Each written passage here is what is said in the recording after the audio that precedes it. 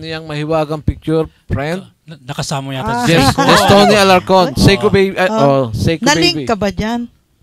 Seiko Jewels May pala, no? pinagdaanan kayo? Oo. Anong klase siyang mag-alaga ng leading lady? yes. Siya lang naman yung ang leading man ko na wala naman akong eksena. Nandun ako sa, Saan? nandun ako sa, sa, sa kung saan siya nag-work. Shooting, oh. siya.